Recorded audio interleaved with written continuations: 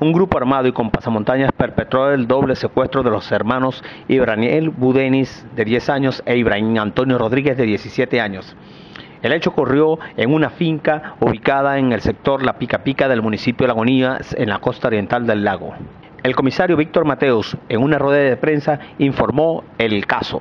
Momento en que su padre llegaba a la finca, varios sujetos lo habían esperado y que habían ingresado a la misma luego de someter a los al personal que labora allí, esperaron que este llegara, fue sometido y despojado de su pertenencia, asimismo de una pistola calibre 9 milímetros, marca Pietro Beretta.